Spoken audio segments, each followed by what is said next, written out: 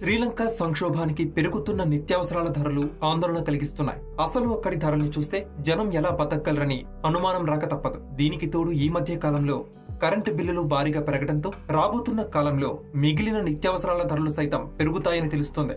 ఇక మనకు తెలిసినంత వరకు గుడ్డు ధర ఐదు రూపాయలు లేకపోతే ఏడు రూపాయల వరకు ఉంటుంది. అదేవిధంగా కిలో చికెన్ మహా అయితే వంద రూపాయలు లేకపోతే మూడు వందల రూపాయల వరకు ఉంటుంది.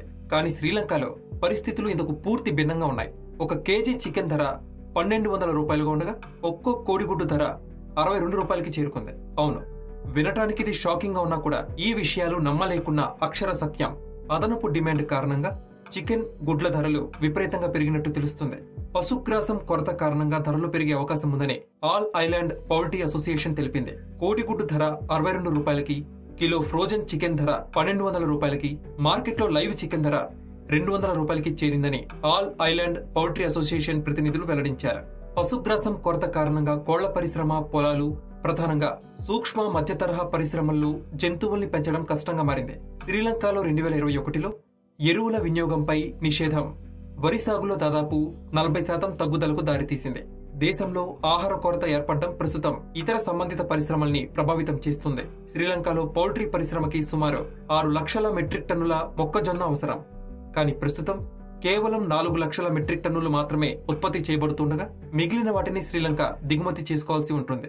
మార్చి వరకు కిలో మొక్కజొన్న డెబ్బై రూపాయలుగా ఉండగా కొరత కారణంగా ప్రస్తుతం రెండు వందల డెబ్బై ఐదు రూపాయలకి చేరింది.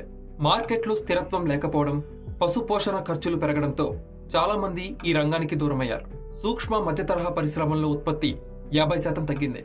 ప్రస్తుతం శ్రీలంకలో సాధారణ పరిస్థితులు నెలకొనే అవకాశం కనిపించినందున భవిష్యత్తులో డిమాండ్కి తగ్గట్టు కోడి కోడిగుడ్లని అందించడం సాధ్యం కాదని ఆల్ ఐలాండ్ పౌల్ట్రీ అసోసియేషన్ తెలిపింది.